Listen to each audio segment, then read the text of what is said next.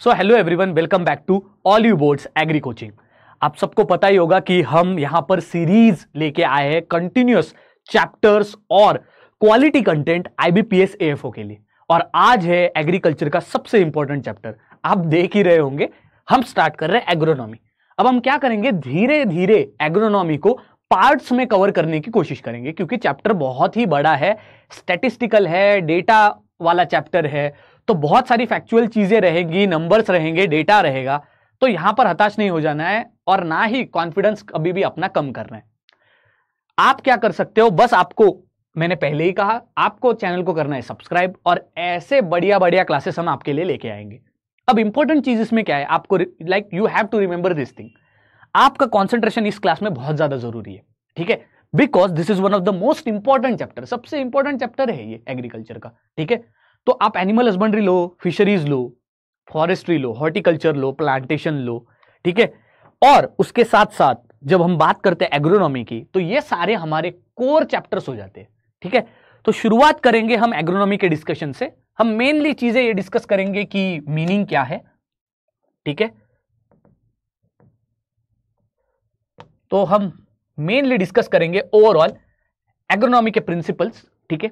उसके साथ साथ हम यही डिस्कस करेंगे, ये भी डिस्कस करेंगे कि मीनिंग एंड स्कोप क्या है। तो हम शुरुआत करेंगे एग्रीकल्चर से, ठीक है? हम डिस्कस करेंगे कि एग्रीकल्चर होता क्या है। क्योंकि एग्रोनॉमी एक एग्रीकल्चर की ब्रांच है, हमें पहले एग्रीकल्चर को समझना होगा, थोड़े से दो तीन डायमेंशन फिर हम देखेंगे कि ओवरऑल एग्रीकल्चर का डेवलपमेंट इंडिया में माइलस्टोन्स क्या है एग्रीकल्चर रिसर्च इंस्टीट्यूट फिर हम चलेंगे एग्रोनॉमी की तरफ़। जानेंगे कि एग्रोनॉमी का डेफिनेशन क्या है एग्रोनॉमी की हिस्ट्री क्या है। एग्रोनॉमी का रिलेशन क्या है क्रॉप ग्रोथ और फैक्टर्स के साथ? एग्रोनॉमिक प्रिंसिपल्स क्या है? टिलेज क्या होता है? ये सारी चीज़ें हम स्लोली स्लोली सारे ये जो इंपॉर्टेंट पॉइंट्स हैं उनको कवर करते चलेंगे। हम शुरू करते हैं हमारा चैप्टर बाय एग्रीकल्चर हम सबको पता होगा कि एग्रीकल्चर ये एक प्राइमरी जो सेक्टर होता है, उसमें से सबसे इंपॉर्टेंट ऑक्यूपेशनल एक्टिविटी है। लेकिन मैं इस पॉइंट ऑफ़ व्यू से थोड़ा डिफर करता हूँ। जो भी इकोनॉमिस्ट है, अर्थशास्त्र जो, जिनको कहते हैं, ठीक है? जो भी इकोनॉमिस्ट होते हैं, उनको एक चीज़ यहाँ पर समझनी होगी कि agriculture is not just occupational activity agriculture occupational activity नहीं है। एग्रीकल्चर बल्कि इससे ज़्यादा एक कुछ इकोनॉमिक एज वेल एज एक ऐसी ऑक्यूपेशनल एक्टिविटी है जो कि मल्टीपल सेक्टर से कनेक्टेड है। तो एग्रीकल्चर जस्ट एक इकोनॉमिक ऑक्यूपेशन नहीं है, जो आपको काम देता है, रोज़गार देता है। ये एग्रीकल्चर नहीं है। ऐसा मैं क्यों कह रहा हूँ? समझने की कोशिश करो। इकोनॉमी में कभी भी प्राइमरी सेकेंडरी एंड टर्शरी ऐसे तीन सेक्टर्स होते हैं, ठीक है? अगर हम प्राइमरी सेक्टर्स की बात करें तो एग्रीकल्चर माइनिंग ठीक है? ऐसी सारी चीज़ें ये आपके प्राइमरी सेक्टर में आती है। सेकेंडरी सेक्टर की बात करें तो इंडस्ट्रीज़ आ जाते हैं मैन्युफैक्चरिंग आ जाती है टर्सरी सेक्टर की बात करूँ तो सेक्टर सर्विस सेक्टर आ जाता है। अगर आप ध्यान दो तो बस एग्रीकल्चर जो होता है, उसमें ये वर्ड कल्चर है। ना इंडस्ट्रीज़ में है, ना मैन्युफैक्चरिंग में है, ना ही सर्विस सेक्टर में। ऐसा क्यों? Why agriculture is not just called as any crop related activity agriculture को कभी भी बस खेती बाड़ी ऐसा क्यों नहीं कहा जाता है? ठीक है? तो यहाँ पर कल्चर क्यों? तो यह बात समझने के लिए आपको इस एक्टिविटी को समझना होगा। तो आप अगर प्रीवियसली अगर दस हज़ार साल भी पुराने, अगर टेन थाउज़ेंड ईयर्स अगर हम पीछे चले जाए, ठीक है? दस हज़ार साल भी अगर हम पीछे चले जाते during ancient times medieval times modern times आप देख सकते हो कि एग्रीकल्चर किसी भी ह्यूमन सिविलाइजेशन जो होता है, उसका फाउंडेशन होता है। ऐसा मैं क्यों कह रहा हूँ? इमेजिन करके देखो इंडस वैली सिविलाइजेशन आईबीसी सबसे पुरानी सिविलाइजेशन यहाँ पर जो इंडस वैली सिविलाइजेशन में हम देखते हैं, पहले यहाँ पर खेती स्टार्ट हुई। खेती के साथ साथ पशुपालन भी स्टार्ट हुआ। अब खेती और पशुपालन जब हुआ ऑटोमेटिकली उनके पास बहुत ज़्यादा प्रोडक्ट्स जो एग्रीकल्चर प्रोडक्ट्स थे, वो आए। उससे फिर ट्रेड यानी कि व्यापार स्टार्ट हुआ। ट्रेड के बाद जब आप देखते हो तो इकोनॉमिक प्रॉस्पेरिटी होती है। मतलब क्या? इकोनॉमिक प्रॉफिट होता है ट्रेड से। जी, आप जो आपके पास प्रोडक्ट्स है, वो बेच रहे हो, उससे आपको पैसा मिल रहा है। तो आपको इकोनॉमिक यानी कि आपकी इकोनॉमिक ग्रोथ हुई। जब किसी भी एरिया की इकोनॉमिक ग्रोथ होती है तो वहाँ पर ऑफकोर्स सोसाइटल ऑफकोर्स फॉर्मेशन भी होता है, ठीक है? तो ओवरऑल यहाँ पर आप देख सकते हो कैसे एग्रीकल्चर से economic development and social development that is socio economic development होती है। किसी भी एरिया में जब सोशियो इकोनॉमिक डेवलपमेंट होती है, उसके बाद फिर पॉलिटिकल डेवलपमेंट होती है। तो पॉलिटिकल डेवलपमेंट मतलब इस्टेब्लिशमेंट ऑफ़ किंगडम सिविलाइजेशन का इस्टेब्लिशमेंट होना, ठीक है? उसके बाद, ऐसी सिविलाइजेशन में हर हमेशा, जब एक अच्छा सोशल एक कम्युनिटी होती है, जो कि एक प्रॉपर सोशल ब्लॉक में कन्फाइंड हो मतलब क्या? एक सपोज़ एक एरिया है, एक किंगडम है, ठीक है? या फिर एक पर्टिकुलर राष्ट्र है, जिसको जिसकी पॉलिटी भी अब डेवलप हो चुकी है। दैट इज़ पॉलिटिकल डेवलपमेंट भी इसमें हो चुकी है। अब इस पॉलिटिकल जो एरिया में सपोज़ कोई एक पर्टिकुलर पॉपुलेशन है, जो वहाँ के सिटीजन है तो ऐसे एरिया में, जो कि एक सिविलाइज्ड एरिया है मतलब लोग वहाँ पर रहते हैं, उनका एक पॉलिटिकल इंस्टीट्यूशन भी है तो ऐसे सिविलाइजेशन में कल्चर भी डेवलप हो जाता है। तो along with civilization cultural development भी होता है। तो इस तरह से कभी भी एक टोटल किंगडम का या फिर एक टोटल राष्ट्र का निर्माण होता है, ठीक है? लेकिन अगर हम उसके बीज देखें तो राष्ट्र के निर्माण के बीज कहाँ पर होते हैं? ऑफकोर्स आपके एग्रीकल्चरल एक्टिविटी में होते हैं। और इसीलिए शायद अगर आप देखते हो तो agriculture is nothing but it is that particular first activity which leads to culturing of civilization establishment of civilization, establishment of culture in an socio economic society. So try to understand it very carefully. मैं क्या बताने की कोशिश कर रहा हूँ? ये books में मिलेगा नहीं आपको, ठीक है?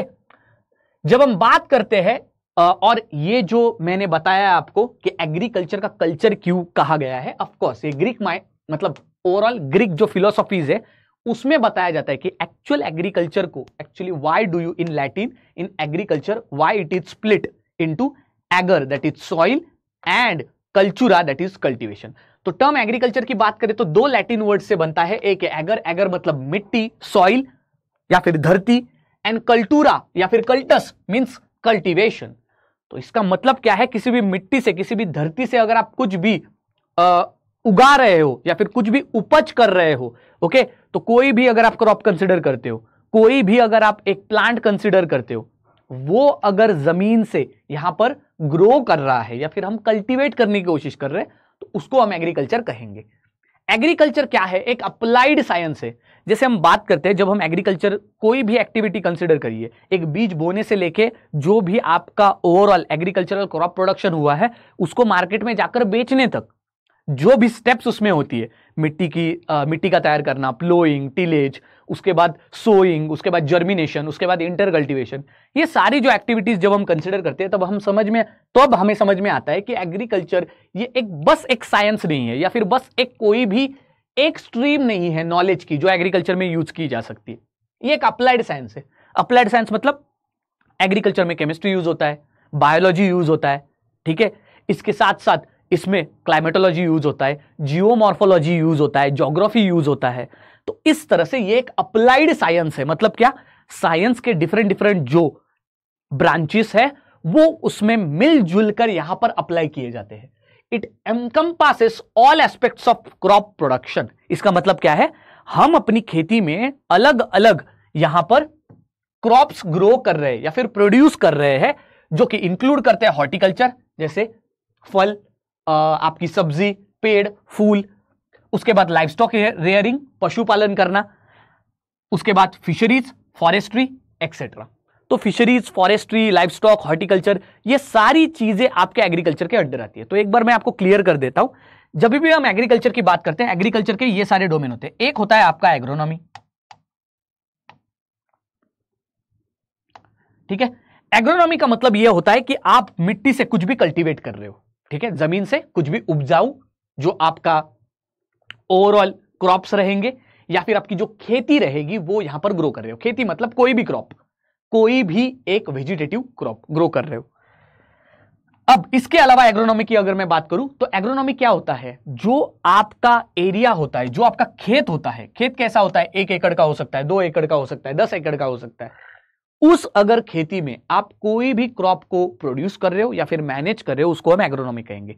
तो एग्रोनॉमी ये ज़्यादातर एक खेती के टुकड़े से रिलेटेड है, ठीक है? तो ये हमारी एग्रीकल्चर की पहली ब्रांच हमारी एग्रीकल्चर की दूसरी ब्रांच होती है हॉर्टिकल्चर हॉर्टिकल्चर का मतलब यह है कि कोई भी हॉर्टस मतलब गार्डन और कल्चुरा मतलब कल्टीवेशन। गार्डन इसलिए यह वर्ड हॉर्टिकल्चर में आ जाता है क्योंकि हम हॉर्टिकल्चर में कभी भी छोटे छोटे प्लांट्स जो होते हैं, वो अपने टेरिस पर मतलब यहाँ पर हॉर्टिकल्चर में किसी भी क्रॉप को ज़मीन के टुकड़े पर ग्रो करने की ज़रूरत नहीं है। आप इसको टेरिस में ग्रो कर सकते हो। आप इसको अपनी गैलरी में ग्रो कर सकते हो। आप इसको गार्डन में ग्रो कर सकते हो। आप छोटे से फ्लावर पॉट को भी एक हॉर्टिकल्चरल क्रॉप कंसिडर कर सकते हो। लेकिन वो एक फ़ील्ड क्रॉप नहीं हो सकता। मतलब एग्रोनॉमी के अंदर एक गार्डन में लगा, एक गार्डन या फिर एक फ्लावर पॉट में जो पेड़ लगाया जाता है, वो एग्रोनॉमी के अंदर नहीं आएगा। वो हॉर्टिकल्चर के अंदर आएगा क्योंकि एग्रोनॉमी में जो भी क्रॉप्स होते हैं वो ज़मीन के टुकड़े पे लगाए जाएँगे। मतलब खेती जब हम बात करते, वो होता है एग्रोनॉमी और हॉर्टिकल्चर जब हम बात करते, वो होता है जो आप गार्डन जो आप छोटे से एरिया में एरिया यहाँ पर इंपॉर्टेंट नहीं होता है। आप घर के अंदर भी फ़ार्मिंग कर सकते हो। टेरिस गार्डन आपकी balcony okay flower pot nursery यहाँ पर जो भी प्लांटेशन होता है, पेड़ों का, फलों का, फूलों का, ये इसको हॉर्टिकल्चर कहते हैं। ये दो ब्रांचेस हो गए। इसके बाद हमारी मेन ब्रांच होती है लाइफ स्टॉक अब लाइफ स्टॉक का मतलब यह है कि कोई भी पशु अगर आप कंसिडर करते हो, उसका पालन करना, ठीक है? अब ये लाइफ स्टॉक जो हमारा कल्टीवेशन होता है it would be for many purpose it may be animal husbandry silviculture apiculture ऐसी चीज़ें जिनसे आप कोई भी प्रोड्यूस कर रहे हो, उन प्राणियों का यहाँ पर पालन करके, ठीक है? दूसरी बात, तीन हो गए, फिर हमारा एक मेन और एक पार्ट होता है, वो है फॉरेस्ट्री फॉरेस्ट्री मतलब जो बड़े बड़े पेड़ है, उनका प्लांटेशन करना। फॉरेस्ट्री के साथ साथ कभी कभार प्लांटेशन को भी दिया जाता है। प्लांटेशन मतलब ऐसे कुछ पेड़ होते हैं या फिर ऐसे कुछ क्रॉप्स होते हैं, जिनको ग्रो किया जाता है एक या फिर दो तीन सालों से भी ज़्यादा। उनको प्लांटेशन क्रॉप्स कहते हैं। तो हॉर्टिकल्चर और प्लांटेशन एक ही सेगमेंट में गिरते हैं, क्योंकि उनको ज़रूरी नहीं है कि आप किसी फ़ील्ड में ग्रो करिए। ठीक है? और लास्ट हमारा एक टाइप है agronomy horticulture life stock forest and fisheries fisheries मत्स्य पालन ठीक है? तो पशुपालन के साथ साथ मत्स्य पालन तो ये पाँच टाइप्स हो जाते हैं एग्रीकल्चर के अंदर। इसमें से हम देखने वाले हैं हमारी मेन ब्रांच एग्रोनॉमी ठीक है? आई होप सबको समझ में आया। एग्रीकल्चर जब हम बात करते हैं it is defined as art science and business of producing crops and life stock for economic purpose जो भी खेती हम करते हैं, जो भी पशुपालन करते हैं, जो भी ये सारी एक्टिविटीज़ करती है उसमें जो आपका किसान होता है, वो हर हमेशा यही सोचेगा कि मैं कैसे मेरी खेती ठीक से करूँ, कैसे मेरी एग्रीकल्चरल एक्टिविटीज़ ठीक से करूँ और उनको बेच के अच्छा सम या फिर अच्छा अमाउंट मुझे मिले। जब अच्छा अमाउंट मुझे मिलेगा, वही अच्छा अमाउंट मैं क्या करने की कोशिश करूँगा? ऑफ़ कोर्स यूटिलाइज करने की कोशिश करूँगा और मैं फिर से खेती अच्छी तरीके से करूँगा। अब ये सिंपल फिलोसॉफी होता है किसान का। आप सपोज़ उसने 10 टन का चावल यहाँ पर अपनी खेती में बनाया वो दस टन का जो भी चावल उसने बनाया है, वो जब मार्केट में जाके बेचेगा तो जितने पैसे उसने लगाए हैं इस खेती में, उससे ज़्यादा उसे मिलने चाहिए। तभी हम कहेंगे कि उसको क्या हुआ है? प्रॉफिट हुआ है। मतलब मुनाफा हुआ है, ठीक है? तो ये बात हम सबको समझनी होगी कि एग्रीकल्चर ये कोई ऐसी एक्टिविटी नहीं है कि आपने एक क्रॉप ले लिया, आपके घर में आपने लगा दिया या फिर एक ज़मीन के टुकड़े पे लगा दिया और फिर आपको कोई परवाह नहीं कि वो कितना ग्रो करता है। नहीं। एग्रीकल्चर इज़ ऑल अबाउट की यील्ड कितनी है प्रोडक्टिविटी कितनी है टोटल आउटपुट कितना है, ताकि उसको मार्केट में कुछ वैल्यू मिले। एग्रीकल्चर को आर्ट साइंस और बिज़नेस ये क्यों कहा जाता है? क्योंकि एग्रीकल्चर आर्ट इसलिए है क्योंकि आर्ट एग्रीकल्चर एक स्किल्ड एक्टिविटी है। आप कल ये नहीं कह सकते कि एग्रीकल्चर कैसे भी हैफ हज़ार वे से आप कर करिए। मतलब जैसे मन में आ रहा है, वैसे अंधाधुंध। एग्रीकल्चर खेती आप नहीं कर सकते। आप सिंपल एक एग्जांपल लीजिए, महाराष्ट्र में विदर्भ रीजन एक है, और वही 400-500 किलोमीटर दूर दूर अहमदनगर पुणे के साइड में एक जिला है। मराठवाड़ा और विदर्भ रीजन में अगर आप देखते हो तो जो भी किसान वहाँ पर है, वो वहाँ पर ऐसी इकोनॉमिक और ऐसे एग्रीकल्चरल सिस्टम पे डिपेंडेंट हो गए कि चाहे वो जो मर्ज़ी कर ले, वो हर हमेशा आँख मूंद कर, बस कपास की खेती करते। इसीलिए ना तो वो ज़्यादा पैसे कमा पाते हैं और हर हमेशा, आप देखोगे तो ज़्यादा से ज़्यादा जो सुसाइड्स होते हैं, वो मराठवाड़ा और विदर्भ रीजन में होते लेकिन 400-500 मीटर अगर दूर आओगे अहमदनगर में, वहाँ पर आपको हिवरे बाज़ार नाम का एक छोटा सा गाँव मिलता है। वहाँ पर इस जो गाँव है, हिवरे बाज़ार, उसको कहा जाता है करोड़पतियों का गाँव। अब यहाँ पर क्या हीरे के जवारी वगैरह नहीं है इस गाँव में? ना ही तेल के कुएँ है। रैदर अगर आप देखते हो, इस गाँव में जो किसान है, वो अच्छे अच्छे पेड़, फूल, सब्ज़ियाँ, ऐसे क्रॉप्स का कल्टीवेशन करते। मतलब a mix of horticulture and agronomy तो इस तरह से आपको पता लगेगा कि एक जगह पर तो किसान यहाँ पर एग्रीकल्चर से परेशान है और दूसरी जगह पर एग्रीकल्चर से फार्मर खुश है, जितना भी उसको प्रॉफिट आ रहा है, उससे फरारी लेके घूम रहा है। तो इससे हमें यह पता लगता है कि एग्रीकल्चर कोई ऐसी ही एक्टिविटी नहीं है, जो आँख मूंद कर हम कहीं पर भी करें। It's a activity which is related to skill कि आपका इस एक्टिविटी में स्किल कितना है?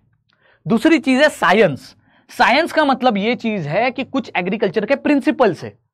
कुछ यहाँ पर आप देखोगे तो थियोरीज है, कुछ मेथड्स है, कुछ फिलोसॉफीज है, कुछ प्रैक्टिसेस है, जो जिस प्रकार से साइंटिफिकली आपको अप्लाई करना होगा। फॉर एग्ज़ाम्पल एक पेड़ में कैसे पॉलिनेशन होता है? एक पेड़ की मॉर्फोलॉजी क्या है? फिजियोलॉजी क्या है? ओवरऑल उसमें फोटोसिंथेसिस रिएक्शन कैसे होता है? खाना कैसे बनता है पेड़ में? ठीक है? ये सारी चीज़ें साइंस से रिलेटेड है। तो इसका मतलब क्या है? स्किल के साथ साथ साइंटिफिक टेम्परामेंट अप्रोच भी होना चाहिए।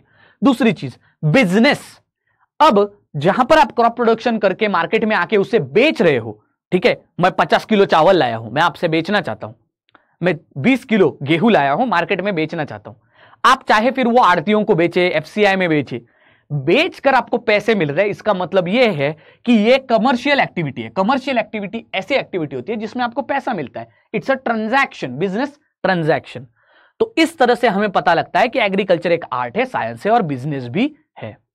स्कोप की अगर बात करूँ, यहाँ पर बहुत सारी चीज़ें लिखी है, लेकिन मैं आपको क्लियरली बताऊँगा।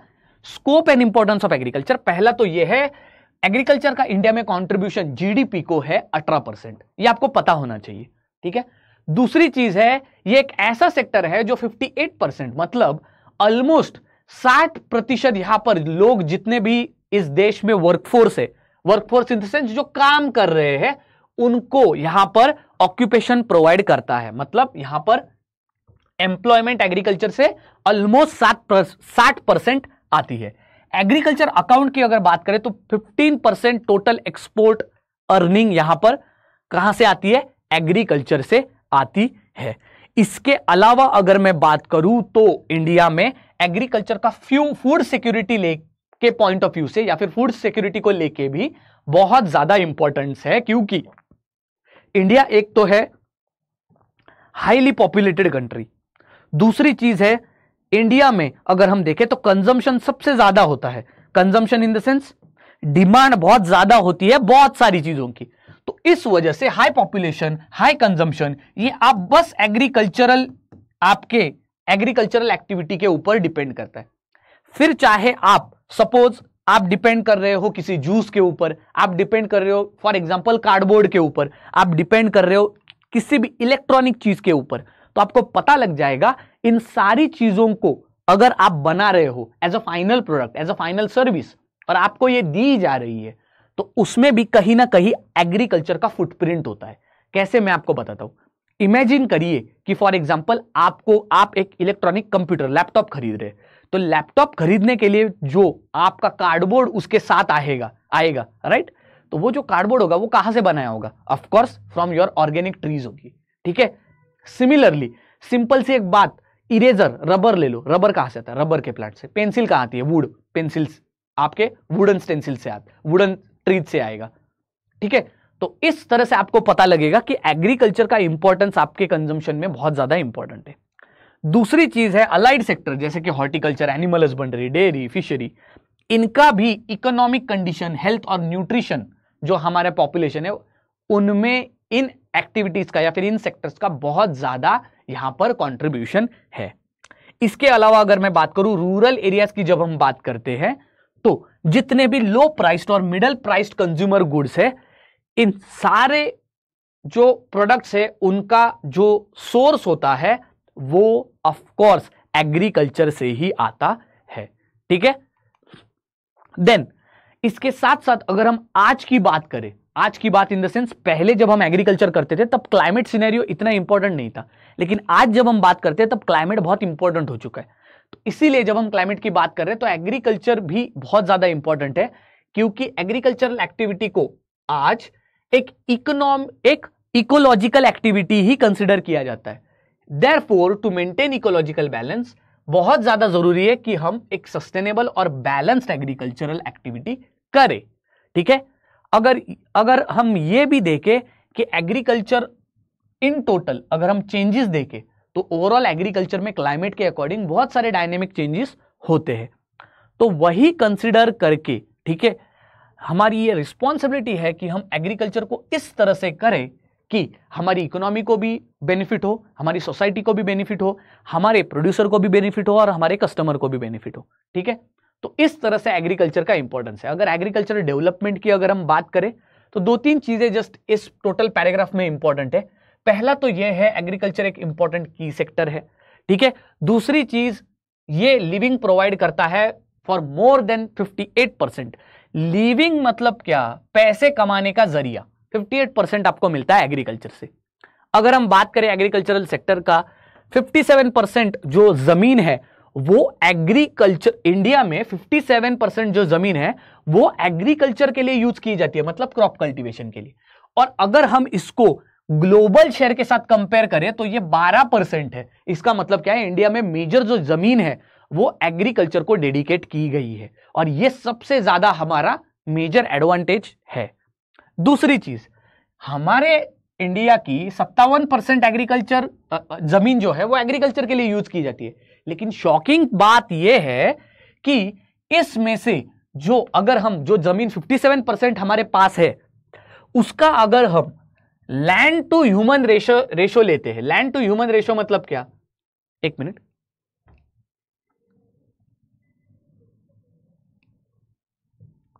अगर हम लैंड टू ह्यूमन रेशो लेते लैंड टू ह्यूमन रेशो मतलब क्या? तो लैंड टू ह्यूमन रेशो मतलब कितनी ज़मीन है आपके पास? कितनी ज़मीन है आपके पास?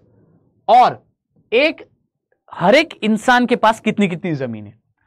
तो ये जब आप निकालते हो तो land to human ratio India का कितना आता है? 0.31 हेक्टेयर जो कि है वर्ल्ड एवरेज के आधा। तो वर्ल्ड एवरेज है 0.6 हेक्टेयर और इंडिया का है 0.31 हेक्टेयर अब इससे एक बहुत इंपॉर्टेंट बात हमें पता लगती है। पता यह लगती है कि इंडिया में जो 100 परसेंट लैंड है, उसमें से 57 परसेंट हम एग्रीकल्चर के लिए यूज़ करते हैं। लेकिन ये जो 57 परसेंट जो लैंड है, उसमें से हर एक इंसान के पास बस 0.31 हेक्टेयर्स ऑफ़ लैंड है। अब ये ऐसी सिचुएशन क्यों आई है? ये आई है फ्रेगमेंटेशन ऑफ़ लैंड की वजह से। और फ्रेगमेंटेशन का मतलब क्या है? ज़मीन का बंटवारा। अब आप बोलोगे कि, सर, कहाँ पर ज़मीन का बंटवारा होता है? तो ज़मीन का बंटवारा ज़रूरी नहीं है कि एक ही जनरेशन में हो। यह होता है एक जनरेशन से लेकर दूसरे जनरेशन में। तो आप देख सकते हो कि सपोज़ आपके दादाजी के पास 20 हेक्टेयर ज़मीन थी। ये 20 हेक्टेयर ज़मीन डिवाइड हुई आपके पापा और आपके अंकल आपके जो आ, आ, जो भी चाचा या जो भी मामा थे उनके साथ ये डिवाइड हुई ठीक है? तो 20 हेक्टेयर खेती डिवाइड हुई आपके पिता के पास 10 हेक्टेयर चली गई और आपके जो अंकल थे उनके पास 10 चली गई ठीक है? अब आपके सपोज़ डैड के हैं दो बेटे ठीक है? तो ये दस हेक्टेयर दो बार और डिवाइड होगी। तो आपके पास पाँच हेक्टेयर आपके भाई के पास पाँच हेक्टेयर तो अभी इस सिचुएशन को देखो कि लैंड फ्रेगमेंटेशन होता क्या है? ज़मीन का बंटवारा कैसे होता है? आपके दादाजी के पास अगर हम देखें तो बीस हेक्टेयर थी। आपके पिता के पास और आपके अंकल के पास दस दस लेकिन आपके भाई के पास और आपके पास पाँच पाँच हेक्टेयर और अगर कल आपको भी दो लड़के होते हैं तो उनके पास तो 2.5 2.5 हेक्टेयर चली जाएगी। और अगर उनको फिर से होगी तो उनके पास तो एक हेक्टेयर एक हेक्टेयर और उनको फिर से दो होते तो तो तो ज़मीन ही खत्म हो गई 0.5 हेक्टेयर 0.5 हेक्टेयर में क्या ही खेती करोगे? तो इस तरह से लैंड फ्रेगमेंटेशन से होता क्या है, ज़मीन का बंटवारा हो जाता है from one generation to other एक जनरेशन के बाद दूसरी दूसरी के बाद तीसरी तीसरी के बाद चौथी। ज़मीन बांटते हुए नीचे नीचे चली जाती है। इस वजह से प्रॉब्लम क्या हो रहा है? इस वजह से प्रॉब्लम यह हो रहा है कि ज़मीन का टुकड़ा जो हर एक के पास है, वो कम अवेलेबल है। और जब अगर किसी भी एक इंसान के पास कम ज़मीन का टुकड़ा अवेलेबल है तो वहाँ पर एग्रीकल्चर करना थोड़ा सा यहाँ पर डिफ़िकल्ट होगा। दूसरी चीज़ सबसे ज़्यादा ये इंपॉर्टेंट है कि इंडिया में अगर हम बात करें तो बहुत ज़्यादा डाइवर्सिटी है। तो इंडिया में बहुत ज़्यादा ऐसे क्रॉप्स है जो कि डिफरेंट डिफरेंट ओरिजिन के ठीक है? 166 क्रॉप स्पीशीज है। 320 wild relatives of crops India में ओरिजिनेट हुए हैं।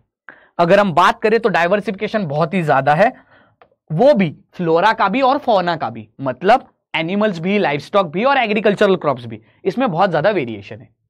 अगर हम रिसर्च की बात करें तो ओवरऑल जब हम एग्रीकल्चरल रिसर्च के पॉइंट ऑफ़ व्यू से देखते हैं तो यहाँ पर एक बात हमें पता होनी चाहिए कि इंडिया में रिसर्च पॉइंट ऑफ़ व्यू से क्या क्या इंपॉर्टेंट चीज़ें हुई है। तो एक ये है कि imperial council of agricultural research ये 1929 में स्टैब्लिश हुआ था, ठीक है? फिर 1970s में department of agricultural research and education ये एक डिपार्टमेंट बना गया बनाया गया मिनिस्ट्री ऑफ़ एग्रीकल्चर के अंडर इसके बाद में अगर आप देखते हो royal commission on agriculture ICR के 113 इंस्टीट्यूट्स 74 एग्रीकल्चरल इंस्टीट्यूट ठीक है? आ, इंडिया की जो पहली जीबी पंत यूनिवर्सिटी है जो पंत नगर में है वो स्टैब्लिश हुई. Four deem to be universities three central universities 731 Krishi Vigyan केंद्र 1974 में पहला कृषि विज्ञान केंद्र डेवलप्ड हुआ। National agricultural research and education system, ये डेवलप हुआ नारेस। ये सारे जो आपकी रिसर्च डेवलपमेंट्स इंडिया में हुए मैंने शॉर्ट में बता दिया, आपको पढ़ने की भी ज़रूरत नहीं है, ठीक है? इसके बाद अगर हम बात करें, ठीक है? तो लैंडमार्क अचीवमेंट्स इंडिया में क्या क्या हुई है? तो पहली चीज़ तो यह है कि 70 75 सालों में 1950s में, जो मिलियन टन 135 मिलियन टन जो आपका total food grain non food grain horticulture in total food grain production था, वो था 135 मिलियन टन और आज वो है 1300 मिलियन टन ठीक है? अगर हम रेवोल्यूशन की बात करें, जहाँ पर quantity quality of total produce two fold three fold increase हुआ है तो पहला है आपका ग्रीन रेवोल्यूशन जो कि क्रॉप से रिलेटेड रिलेटेड था फादर थे एम एस स्वामीनाथन फिर है आपका व्हाइट रिवोल्यूशन या फिर ऑपरेशन फ्लड फादर है वर्गीज कुरियन. रिलेटेड प्रोडक्ट है मिल्क फिर है ब्लू रेवोल्यूशन ब्लू रेवोल्यूशन है मरीन प्रोडक्ट से रिलेटेड फिशेस से रिलेटेड ऑयल रेवोल्यूशन है रिलेटेड येलो रिवोल्यूशन रिलेटेड है ऑयल से. गोल्डन रेवोल्यूशन रिलेटेड है हॉर्टिकल्चरल क्रॉप से और हनी से. सिल्वर रेवोल्यूशन रिलेटेड है एग से और इसके साथ ही साथ एग्स के साथ साथ एग प्रोडक्ट से। फिर ब्राउन रेवोल्यूशन रिलेटेड है कॉफ़ी से ग्रे रेवोल्यूशन रिलेटेड है वुल से और साथ ही साथ में फर्टिलाइज़र से। रेड रेवोल्यूशन रिलेटेड है मीट से और ओनियन से। तो इस तरह से अलग अलग एग्रीकल्चरल रेवोल्यूशन है अब इन जो एग्रीकल्चरल रेवोल्यूशन की बात हम कर रहे हैं यहाँ पर बहुत ज़्यादा इंपॉर्टेंट है कि आप इनको डेप्थ में पढ़िए। थोड़ा सा इंटरनेट पे जाके भी रिसर्च कर सकते हो। आपको इनके बारे में दो तीन चीज़ें मालूम होनी चाहिए। जैसे कि ग्रीन रेवोल्यूशन था 1967 टू 2003 तक। ऑपरेशन फ्लड की जब मैं बात करता हूँ, शुरू हुआ है 1991 से लेकर 2002 तक। तो इस तरह से आपको सारे रेवोल्यूशंस के टाइमिंग्स पता होने चाहिए पीरियड पता होना चाहिए ब्रीफ आपको पता होना चाहिए फादर ऑफ़ ईच रेवोल्यूशन क्या है। और रेवोल्यूशन का कलर क्या है और प्रोडक्ट क्या है? ये सारी चीज़ें आपको क्लियरली पता होनी चाहिए। फिर हम बात करते हैं milestones of Indian agriculture after independence मतलब 1947 में इंडिपेंडेंट होने के बाद इंडिया में ऐसी क्या क्या इंपॉर्टेंट चीज़ें हुई है? तो 1947 में सबसे इंपॉर्टेंट चीज़ हुई थी ग्रो मोर फ़ूड कैंपेन ये क्यों हुआ था? क्योंकि 1943 में इंडिया में बंगाल में फैमिन हुई थी, जहाँ पर खाने के लाले पड़े थे। बिल्कुल खाना अवेलेबल नहीं था। तो हमारा मेन ऑब्जेक्टिव ये था कि हम हमारे टोटल फ़ूड ग्रेन प्रोडक्शन का सरप्लस कराए, कि हमारे पास खाना अवेलेबल हो ज़्यादा ज़्यादा यहाँ पर फैमिन और ड्रॉट की प्रॉब्लम सॉल्व करने के लिए। 1948 की अगर हम बात करते हैं तो यहाँ पर first multipurpose river valley project जो कि है आपका दामोदर वैली प्रोजेक्ट ये यहाँ पर झारखंड में शुरू हुआ। इसके बाद एग्रीकल्चर एक्सटेंशन जो कि है नॉलेज स्प्रेड करना एग्रीकल्चर का, इटावा पायलट प्रोजेक्ट और नीलोखेरी प्रोजेक्ट स्टार्ट हुआ 1948 में। उसके बाद सबसे इंपॉर्टेंट चीज़ अगर हम बात करें तो ये है कम्युनिटी डेवलपमेंट प्रोग्राम जो स्टार्ट हुआ 1952 में, ठीक है? ये था आपकी ओवरऑल रूरल प्लानिंग और रूरल डेवलपमेंट जो कि एग्रीकल्चरल और रूरल सेक्टर से रिलेटेड था। National extension service again related to agriculture extension फिर हम बात करते हैं overall yes world first all rust resistant wheat NP 809 ये रिलीज़ किया गया था 1954 में। अब बहुत सारी ऐसी छोटी चीज़ें भी होंगी जो आपको, आप बस रीड कर सकते हो। मैं बस आपको ये नहीं करूँगा कि मैं सारी चीज़ें यहाँ पर पढ़ू। आप भी बोर हो जाओगे। तो इसीलिए मैं बस इंपॉर्टेंट जो जो चीज़ें वो आपसे क्लियर करवा रहा हूँ, ठीक है? फिर हम चलते हैं discussion Bhavani Sagar dam dam जो तमिलनाडु में डेवलप हुआ था 1955 में। इसके बाद अगर हम देखते हैं ऑल इंडिया कोऑर्डिनेटेड रिसर्च जो कि मक्के पे हुई थी, मेज पे 1957 में, ठीक है? First marine census that is marine fisheries census हुआ था 1957 में, ठीक है? उसके बाद डीम यूनिवर्सिटी, ये स्टेटस दिया गया था एक रिसर्च इंस्टीट्यूशन इंपॉर्टेंट इंडिया का इंडियन एग्रीकल्चरल रिसर्च इंस्टीट्यूशन को, ठीक है? उसके बाद national agricultural cooperative marking marketing federation 1958 में स्टैब्लिशमेंट हुआ था। उसके बाद अगर हम बात करें तो yes first agricultural university on land grand pattern that is GB Pant university यहाँ पर स्टैब्लिश हुई थी। कब हुई थी ये? 1960s में जीबी पंत ठीक है? कब हुई थी ये? 1960s में। फिर 64 टू 70 तक क्या क्या हुआ? तो पहला तो ये है commission on agricultural cost and prices और फ़ूड कॉर्पोरेशन ऑफ़ इंडिया ये स्टैब्लिश हुआ था 1965 में। उसके बाद ये जो हम मिनिमम सपोर्ट प्राइस की बात करते हैं। ये सिस्टम स्टार्ट की गई थी। पहला क्रॉप जो एमएसपी के साथ जिसने शुरू किया था, वो था व्हीट ठीक है? 1966 में। उसके बाद 1966 में कभी भी आप देखते हो तो ग्रीन रेवोल्यूशन का फाउंडेशन ले किया गया था। पहला जो प्रोग्राम था जिससे ग्रीन रेवोल्यूशन स्टार्ट किया गया, वो था हाई यील्डिंग वैरायटी प्रोग्राम ठीक है? इससे इनिशिएट किया गया था आपके ग्रीन रेवोल्यूशन को। उसके बाद नागार्जुना सागर डैम स्टैब्लिश किया था, इंडिया का पहला मेसनरी डैम, ठीक है? फिर अगर हम और बात करते हैं, और इंपॉर्टेंट चीज़ें जो इसी साल में अगर हम देखें तो 1969 में जो भी 14 इंपॉर्टेंट प्राइवेट बैंक्स थी, उनका नेशनलाइजेशन किया गया था, ठीक है, राष्ट्रीयकरण किया गया था इस बैंक्स का, ठीक है? फिर 1971 टू 79 यहाँ पर क्या हुआ था? ये 1973 में जो मैंने पहले बताया था एक डिपार्टमेंट का क्रिएशन किया गया था एग्रीकल्चरल मिनिस्ट्री के नीचे, जो देखेगा बस एग्रीकल्चरल रिसर्च नाम था डिपार्टमेंट का department of agricultural research education जो है डेयर डिपार्टमेंट 1974 में कृषि विज्ञान केंद्र पौंडीचेरी में स्टेब्लिश हुआ था। एक agriculture and agriculture extension and skilling related भी एक सिस्टम डेवलप की गई थी, जो थी training and visit visit to the field जो 1974 में की गई थी। एग्रीकल्चरल रिसर्च सर्विस और एग्रीकल्चरल साइंटिस्ट रिक्रूटमेंट बोर्ड ये यहाँ पर स्टैब्लिश किया गया था 1975 में, ठीक है? उसके बाद थोड़ी और छोटी चीज़ें हैं। लैब टू लैंड प्रोग्राम शुरू हुआ था 1979 में और उसके साथ साथ ही नेशनल एग्रीकल्चरल रिसर्च प्रोजेक्ट भी स्टार्ट हुआ था। तो ये इंपॉर्टेंट चीज़ है जो हमें रिमेंबर करनी है 1977 तक। 1981 से लेकर 1995 में देखो क्या होता है। पहला तो ये चीज़ है, आपका नाबार्ड स्टेब्लिशमेंट कब हुआ है? 1982 में, ठीक है? 1984 में आपका और एक इंपॉर्टेंट इंस्टीट्यूशन जो कि है नेशनल हॉर्टिकल्चरल बोर्ड अब आप सब लोग ये बोलोगे कि, sir how do you remember this all things आप कैसे इतना रट्टा मार रहे हो? तो रट्टे की कोई बात नहीं है सिंपल सी बात है, समझ लो कि कैसे करना होता है। किसी भी इंसान को कुछ भी पढ़ने के लिए एक फ़र्स्ट रीड होता है, फिर होता है आपका सेकेंड रीड और फिर होता है आपका थर्ड रीड आपका फ़र्स्ट रीड जो होता है, ये आप जैसे कॉमिक्स पढ़ते हो ना, वैसे आपको कॉमिक्स या फिर आप कहानी की जब कभी भी कहानियाँ आप पढ़ते रहोगे राइट कहानी की किताब। तो कभी भी कहानी जब आप पढ़ते हो तो इन कहानियों को पढ़ते वक्त कैसे आप रैंडमली पढ़ते हो? वैसे आपको फ़र्स्ट रीडिंग करनी है। जो आपकी सेकेंड रीडिंग कभी भी किसी किताब की होती है, वो आपको डिटेल्ड करनी होती है। वो आपको कैसे करनी होती है? डिटेल्ड करनी होती है। और जो आपकी तीसरी रीडिंग आप करते हो, वो आपको कभी भी रिवाइज रीडिंग करनी होती है। रिवाइज मतलब आपको मालूम होना चाहिए कि किस लाइन के बाद क्या आने वाला है। अगर किसी भी किताब की, अगर आप किसी भी डेटा की तीन बार रीडिंग करते हो तो हमेशा वो आपको याद रहेगा। ठीक है? तो फिर integrated pest management national policy accept की गई थी 1985 में। थोड़ा सा इंपॉर्टेंट है ये। ठीक है? उसके बाद national academy of agricultural sciences 1990s में यहाँ पर डेवलप किया गया था। और 1995 में आप देखते हो, institution village linkage programme IVLP ये यहाँ पर इनिशिएट किया गया था। 1966 से लेकर 2006 तक। क्या क्या इंपॉर्टेंट था, एक बार जानते नेशनल जीन बैंक यहाँ पर 1996 में स्टार्ट किया गया था। सबको पता होगा, किसान क्रेडिट कार्ड 1998 में यहाँ पर इंट्रोड्यूस किया गया था। उसके बाद एक और एक चीज़ है जो 1999 में ही हुई है, वो है agro ecological sub region mapping of India ठीक है?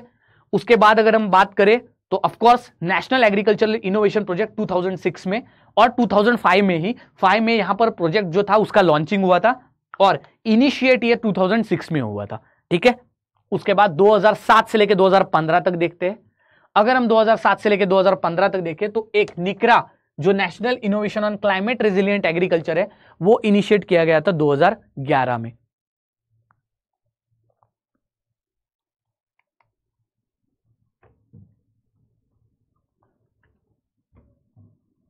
ठीक है? हाँ 2000 यस 2011 में, ठीक है? यस फिर 100 क्लाइमेट रेजिलियंट विलेजेस में इस्टेब्लिश 2012 में, ठीक है? उसके बाद अगर हम देखें, मेरा गाँव, मेरा गौरव प्रोग्राम कब था ये? 2015 में। एक इंपॉर्टेंट एग्रीकल्चरल स्कीम है जो कि है कि यूथ्स को बस एग्रीकल्चर में रखना है, उनको होप देनी है, उनको स्किल ट्रेनिंग देनी है, ताकि वो एग्रीकल्चर एक्टिविटी को छोड़े ना। तो उस प्रोजेक्ट का नाम था आर्य प्रोग्राम जो शुरू हुआ था 2015 में। ठीक है? फिर 2016 से लेकर 2020 तक अगर हम देखें इंपॉर्टेंट एस्पेक्ट से ई नाम यहाँ पर लॉन्च किया गया था 2016 में, ताकि लोगों की जो एग्रीकल्चरल मार्केट से वहाँ पर एक्सप्लोइटेशन ना हो, वो easily without any borders online platforms पर अपना एग्रीकल्चर प्रोड्यूस सेल कर सके। Agricultural, national agricultural higher education project, ये 2017 में हुआ था। उसके बाद अगर हम बात करें पीएम किसान स्कीम, किसान सम्मान निधि, वो हुआ था आपका 2018 में, ठीक है? Ministry of fisheries animal husbandry and dairy ये एक स्पेशल मिनिस्ट्री बनाई गई थी एग्रीकल्चर से बाहर निकालकर 2019 में। भूमि जियो पोर्टल डेवलप हुआ था 2020 में। तो इस तरह से ये इंपॉर्टेंट एस्पेक्ट है। 2021, 22 और 23 में क्या हुआ था? एक बार जान लो। एक तो यह है कि 2022 में हमारे टोटल एग्रीकल्चरल प्रोडक्ट्स जो थे वो एक न्यू माइलस्टोन उन्होंने क्रॉस किया USD that is United States dollar 50 billion यहाँ पर हमने क्रॉस किया। ठीक है? एग्रीकल्चरल इन्वेस्टमेंट पोर्टल का सेटअप किया गया। National mission on edible oils and oil palm ये लॉन्च किया गया था 2022 में। और फ़ूड एंड एग्रीकल्चरल ऑर्गेनाइजेशन में मिलेट्स जो थे, उनके लिए international years of millets declare किया 2023 में। इस तरह से ये सारे माइलस्टोन है, चाहिए तो आप पढ़ सकते हो। कंटेंट आपको ऑफकोर्स कोर्सेस में मिल जाएगा। आपको जाना है olive board agri coaching channel पर। वहाँ पर कोर्सेज की लिंक दी गई है ऑलिव बोर्ड पोर्टल पे जाइए। वहाँ पर एग्रीकल्चर डोमेन में जाइए। वहाँ पर हमारा AFO batch it's going on ठीक है? अब बात करते हैं एग्रोनॉमी के बारे में and let's try to just understand कि एग्रोनॉमी का मीनिंग क्या होता है। शॉर्ट में आपको पता ही लग गया होगा कि एग्रोनॉमी ये जो वर्ड होता है, वो आया है ग्रीक वर्ड से। एग्रोस का मीनिंग होता है फ़ील्ड तो एग्रोनॉमी में एक चीज़ बहुत इंपॉर्टेंट है जो मैंने आप सबको बताई फ़ील्ड मतलब खेती। खेती मतलब बस क्रॉप्स नहीं मतलब ज़मीन का टुकड़ा भी यहाँ पर बहुत ज़्यादा इंपॉर्टेंट है। मतलब किसी भी एक ज़मीन के टुकड़े के ऊपर जब आप खेती करते हो तो वो ज़मीन का टुकड़ा नॉर्मल टुकड़ा नहीं है। वो खेती करने वाली ज़मीन है। तो उसके ऊपर जब आप कोई भी क्रॉप्स का या फिर जो भी खेती मैनेज करते हो या फिर प्रोड्यूस करते हो, इन सारी चीज़ों को क्या कहा जाता है? एग्रोनॉमी कहा जाता है। So what is agronomy agronomy is combination of two words एक है फ़ील्ड मतलब इस फ़ील्ड मतलब इस खेती के ऊपर आप कोई भी क्रॉप्स ग्रो कर सकते हो। और ये फ़ील्ड को, ये फ़ील्ड को या फिर इस फ़ील्ड मर, इस फ़ील्ड पर क्रॉप्स का प्रोडक्शन कर रहे हो? और प्रोडक्शन के साथ साथ मैनेजमेंट भी कर रहे हो उन क्रॉप्स की। सो व्हाट इज़ एग्रोनॉमी अगर मैं इंग्लिश डेफिनेशन बताऊँ तो कि किसी भी फ़ील्ड में आप क्रॉप प्रोडक्शन कर रहे हो और क्रॉप मैनेजमेंट कर रहे हो। और हिंदी में अगर मैं बताऊँ तो किसी भी खेती में कोई भी पेड़, फल, फूल, या फिर क्रॉप्स या फिर खेती का प्रोडक्शन करना और उसका मैनेजमेंट करना, इसको हम एग्रोनॉमी कहेंगे। ठीक है? जब एग्रोनॉमी की बात होती है तो एक चीज़ याद रखना, ये जो आपका खेती का टुकड़ा है, इस खेती के टुकड़े के ऊपर आप उस क्रॉप की मैनेजमेंट का मतलब क्या है? मैनेज मतलब क्या होता है? एक किसी भी खेत में, किसी भी एक आपकी जो क्रॉप होता है, उसके बीज को बोने से लेके, बीज के बोने के बाद उसको इरिगेशन मतलब पानी प्रोवाइड करना मैन्यूअर फर्टिलाइज़र प्रोवाइड करना, उसका जर्मिनेशन होना सीडलिंग से सैपलिंग वो जो छोटा सा क्रॉप है, वो बड़ा हो जाना, फिर उसकी फ़िज़िकल ग्रोथ होना मैच्योरिटी फ़िज़िकल मैच्योरिटी और may be reproductive maturity stage reach करना, उस पर फूल आ जाना, फूल से फिर फिर से उससे बीज आएँगे, बीज से बीज के ऊपर फिर उसको फ्रूट आएँगे, ठीक है? तो ये सारे जो स्टेजेस होते हैं क्रॉप ग्रोथ के, उसमें जितनी भी एक्टिविटीज़ इन्वॉल्व है एक्टिविटीज़ इन द सेंस चाहे फिर फर्टिलाइज़र सप्लाई हो, चाहे फिर इंसेक्ट के रिलेटेड पेस्ट मैनेजमेंट हो चाहे फिर न्यूट्रिएंट मैनेजमेंट हो, ये सारी चीज़ें इन्वॉल्व होती है आपके एग्रोनॉमी में। तो अगर मैं एग्रोनॉमी की आप सबसे बात करूँ तो एग्रोनॉमी मैं आपको बताता हूँ क्या चीज़ होती है। Agronomy is a combination of all these things first it is related to crop production crop production का मतलब क्या है?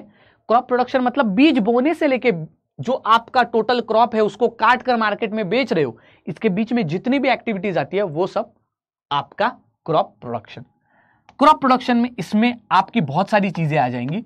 सोइंग से लेके इरिगेशन से लेके, बहुत सारी चीज़ें, ठीक है? क्रॉप प्रोडक्शन के बाद आती है आपकी इडेफोलॉजी इडेफोलॉजी मतलब क्या?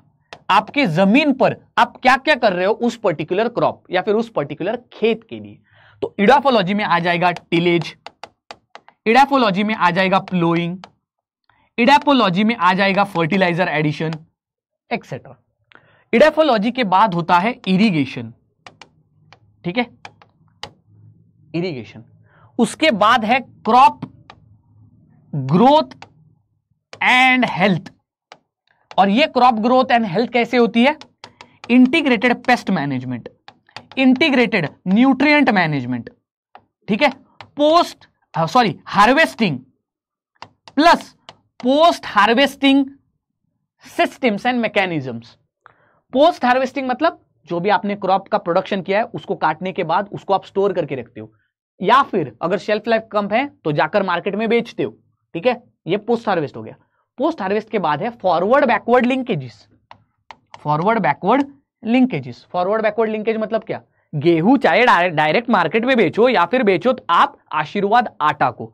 डायरेक्ट बेचोगे तो गेहूँ कोई ले लेगा। और उन गेहूँ को पीस कर उसका आटा बनाएगा। और आशीर्वाद आटा अगर आप किसी को भी बेचते हो तो कोई भी डायरेक्ट आटा लेके उसकी चपाती बनाएगा। या फिर आशीर्वाद आटा फिर आगे बेकरी को बेच सकता है, जिससे फिर केक बन सकता है, ठीक है? या फिर जिससे ब्रेड बन सकता है, जो कि फाइनलाइज प्रोडक्ट है। तो ये आपके फॉरवर्ड बैकवर्ड लिंकेजेस हो गए। और फॉरवर्ड बैकवर्ड लिंकेजेस के बाद लास्ट स्टेज स्टेज होती है प्रॉफिट कॉमर्स ठीक है? ये सारे स्टेप्स है एग्रोनॉमी के। ये लिख के रखना ताकि आपको एक क्लैरिटी हो एग्रोनॉमी में क्या क्या चीज़ें होती है। ठीक है? अब it is import to understand important to understand कि प्रॉपर्टीज़ ऑफ़ सॉइल सॉइल कैसे किसी भी खेत, किसी भी प्लांट ग्रोथ के साथ कैसे इंटरैक्ट करता है सॉइल क्यों सॉइल को फाउंडेशन कहा जाता है जिसके ऊपर कोई भी क्रॉप ग्रो कर सकता है। It is well said in agriculture agriculture में एक बात कही जाती है कि अगर आपको एक अच्छी खेती करनी है तो ज़मीन अच्छी करो। खेती के पीछे मत जाओ। आप ज़मीन अच्छी करो ऑटोमेटिकली खेती अच्छी आएगी। So this is what you should be knowing about then how and when to apply this nutrients ज़मीन के अंदर कुछ न्यूट्रिएंट्स होते हैं क्रॉप को कुछ न्यूट्रिएंट्स चाहिए तो ये कैसे अप्लाई करें? क्रॉप कैसे ग्रो करता है डेवलप करता है? कैसे अलग अलग अगर क्लाइमेट्स हो तो अलग अलग एनवायरमेंट अलग अलग क्रॉप के स्टेजेस के ऊपर क्लाइमेट और एनवायरमेंट अफेक्ट करता है। फॉर एग्ज़ाम्पल अगर गेहूँ की बात करें तो बीज बोने के टाइम पे उसको बहुत कम टेम्परेचर का रिक्वायरमेंट होता है। ग्रोथ जो होती है गेहूँ में, उसमें अगर हम देखें तो बहुत अच्छी ग्रोथ गेहूँ में होती है तब, जब उसके ग्रोथ साइकिल या फिर उसकी जो रिप्रोडक्टिव स्टेज होती है, वहाँ पर अच्छा खासा टेम्परेचर होता है। और जब हम हार्वेस्टिंग स्टेज की बात करते हैं, तब थोड़ा या फिर मीडियम टेम्परेचर रिक्वायर्ड होता है गेहूँ को। तो अलग अलग क्लाइमेट अलग अलग एनवायरमेंटल फैक्टर्स का अलग अलग क्रॉप स्टेजेस के ऊपर इफ़ेक्ट क्या होता है, वो भी पता होना चाहिए। कैसे हम इंसेक्ट अटैक पेस्ट अटैक को कंट्रोल कर सकते हैं हमारे क्रॉप्स के बेटर डेवलपमेंट के लिए? ठीक है? दूसरी चीज़, कैसे आप एक से ज़्यादा क्रॉप्स का स्पेशलाइजेशन कर सकते हो? और लास्टली एग्रोनॉमी के फादर कौन है, जो कि है पीत्रो दे क्रिसेंजी तो ये सारी चीज़ें आपको याद रखनी पड़ेंगी, जो कि है एग्रोनॉमी से रिलेटेड अब एक बार डेफिनेशन देखते हैं तीन और हम ये पर्टिकुलर लेक्चर एंड कर देंगे। एग्रोनॉमी होती है क्या है? It is a agricultural science which deals with principles and practices of crop production and field management इसका मतलब क्या है? एग्रीकल्चर अगर हम देखें, वो डील करता है प्रिंसिपल से और प्रैक्टिस क्रॉप प्रोडक्शन से रिलेटेड फ़ील्ड मैनेजमेंट से रिलेटेड ठीक है? तो प्रिंसिपल सिंपल सी बात है। अगर आपको क्रॉप प्रोडक्शन करना है, अगर आपको क्रॉप मैनेजमेंट करना है तो आपको एक चीज़ समझनी होगी कि आपको अच्छे प्रिंसिपल्स अप्लाई करने होंगे, अच्छी प्रैक्टिसेस अप्लाई करनी होंगी, अच्छे मेथड अप्लाई करने होंगे। जब तक आप ये चीज़ें नहीं करते हो तो क्या ही पॉइंट है? आप कुछ कर ही नहीं सकते, आप अच्छा प्रोडक्शन अच्छा मैनेजमेंट नहीं कर सकते। Agronomy is a branch of agricultural science जो कि डील करता है principle practice of soil water and crop management तो वही चीज़ है कि क्रॉप क्रॉप का प्रोडक्शन करना है मैनेजमेंट करना है तो ऑफकोर्स क्रॉप कभी भी तीन बेसिक चीज़ों से आप ग्रो कर सकते हो। एक है पानी, एक है ऑफकोर्स आपकी soil so water that is irrigation soil जो कि मिट्टी, और तीसरी चीज़ होती है ऑफकोर्स आपकी एयर ठीक है? तो ये बेसिक चीज़ें नेचुरली होती है, जो क्रॉप को रिक्वायर्ड होती है। इसके अलावा ऑफकोर्स तो इसी से आपका टोटल बेस बनता है कि कैसे आप क्रॉप को ग्रो कर सकते हो। तीसरी डेफिनेशन है it is branch of agricultural science which deals with methods which provide favourable environment to the crop for higher productivity ठीक है? तो यही सारी चीज़ें हैं जो हम इस पर्टिकुलर चैप्टर में सीखते हैं। ओवरऑल डेफिनेशन आपको दो ही वर्ड्स जानने हैं। एक है फ़ील्ड सो एक है फ़ील्ड आपकी खेती, और दूसरा है crop production and management in that particular field और वो आप कैसे करोगे? अच्छे प्रिंसिपल्स प्रैक्टिसेस और मेथड्स अप्लाई करके। तो ये है बेसिकली आपका इकोनॉमी हम यहाँ पर एंड करते हैं और नेक्स्ट पार्ट में हम डिस्कस करेंगे हिस्ट्री बेसिक प्रिंसिपल्स क्लासिफिकेशन ये सारी चीज़ें एग्रोनॉमी से related thank you very much see you next time